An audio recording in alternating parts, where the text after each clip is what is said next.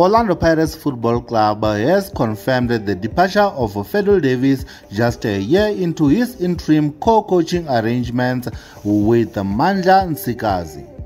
Good day and welcome to Football Navigator where you get all your latest sporting content. The Buccaneers has released a statement uh, saying that Orlando Pirates Football Club can confirm that it has parted ways with coach Fadlu Davids. Davids, who is 41 years old this year, who joined the organization in 2019 as an assistant coach, will leave the club upon the expiration of his contract at the end of this month. The club extended their gratitude by saying that Mr. Davids leaves the club having performed his duties in an exemplary manner.